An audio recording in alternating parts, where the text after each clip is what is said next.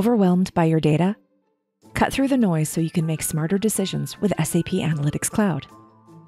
Keep insights at your fingertips with desktop and mobile viewing, bookmark views to revisit, and share or export in multiple formats.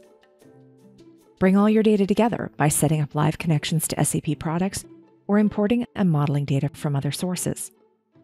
Explore trends and outliers using charts, tables, geomaps, and other widgets in dashboards that tell the story of your data. Seamlessly switch to planning with advanced tools like data actions, allocation processes, and the add in for Microsoft Office, and coordinate planning tasks across teams and locations in the calendar.